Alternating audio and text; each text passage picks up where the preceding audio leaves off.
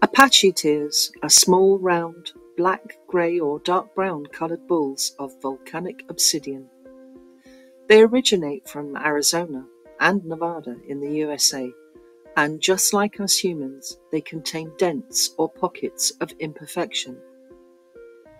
The name comes from a band of 75 Apache Braves that were attacked by the US military in the 1870s.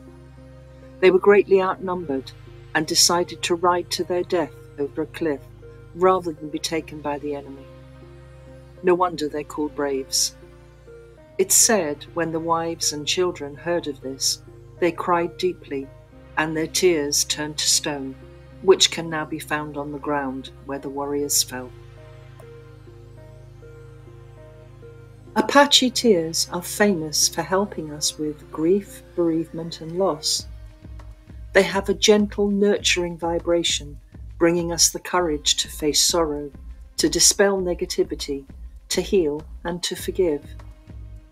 They cleanse the aura by absorbing negative energy, helping us to heal from trauma and negative experiences.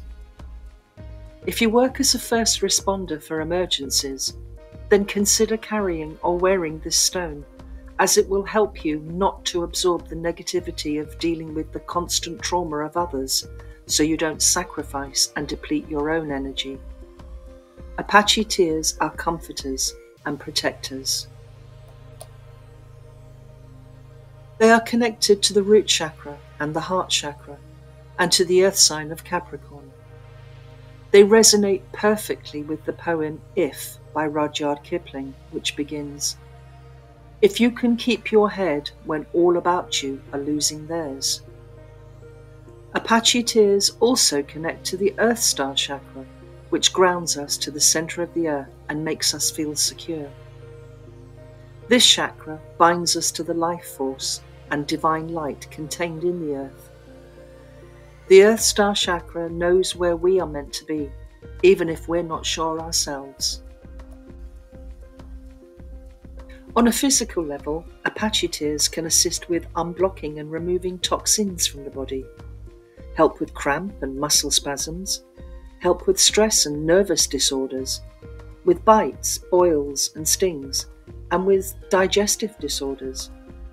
They also assist with the absorption of vitamin C and vitamin D around the body. A perfect mantra to use whilst meditating with Apache tears would be The past is behind me.